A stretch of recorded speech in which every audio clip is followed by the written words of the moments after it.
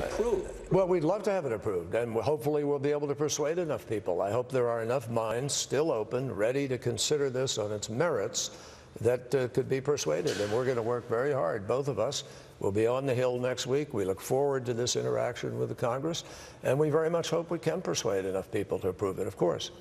Turning now to Iran. The nuclear agreement with Iran is now in the hands of Congress. Tomorrow begins day one of a 60 day review period.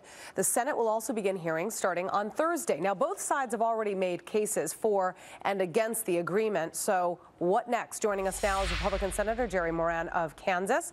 Thank you very much for talking to us, Senator. You know, Congress and the Obama administration are making their case for and against continuing sanctions. Obama and his team believe that we've got to do this because otherwise U.S. sanctions and resolutions will be ignored eventually by other countries.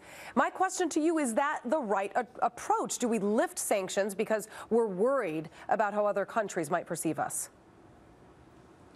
Julie, thanks for letting me join you. This is probably the most important uh, decision issue that uh, many members of the United States Senate will face during their time uh, in the United States Senate.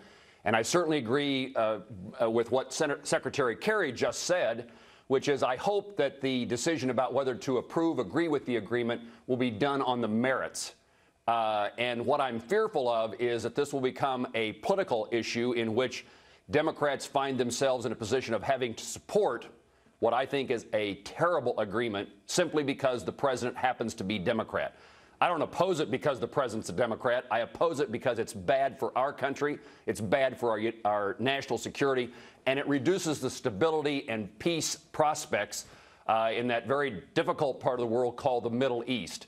And what's next should be the American people and their elected representatives in Washington, D.C., spending the time not on the politics of this issue, but on the merits to make certain that uh, to reach the right conclusion, whether it's beneficial right. to peace and national security or very harmful. Talk about the dangerous terms of this proposal, because not only do they not enhance our national security, as you just mentioned, but what about verifying accountability from Iran? Where will there be accountability? Well, you know, that's what the sanctions were put in place for is to, to change the behavior of Iran related to the development of a nuclear weapon. And what we see is the sanctions going away under the agreement. Uh, and what should have happened is there's no sanction relief until Iran dismantles their nuclear program. I serve on the banking committee that's responsible for the congressionally mandated sanctions. Our goal was to change the behavior of Iran using the sanctions not to remove the sanctions and hope that Iran does something different. And so uh, the, the, the, this agreement is, has been negotiated, agreed to in a way that the benefits come way too soon and the bad behavior can continue. And perhaps most troubling is the ultimate end of arms embargo uh, yeah. and ballistic missile opportunities for Iran as well. You know, this is just, we're headed in the wrong direction in a, in a way that's so troublesome to the peace and security of the United States and the rest of the world. I'll tell you what else is troubling is Iran Supreme Leader Ayatollah Ali Khamenei, who hailed to his people yesterday for demanding death to America and Israel. And in that vicious speech, the leader said that he hopes God will answer these prayers and vows a nuclear deal won't change Iran's support for Palestine and its opposition to America. I mean, this is the kind of rhetoric President Obama feels can be negotiated with?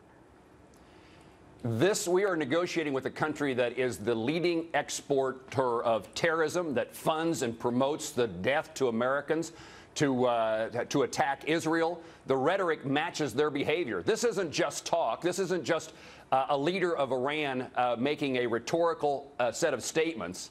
This is a country that actually practices the things that the leader is saying they will still will continue to do.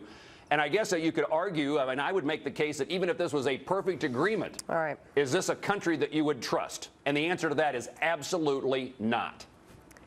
Republican Kansas Senator Jerry Moran, thank you very much for talking to us. We appreciate it.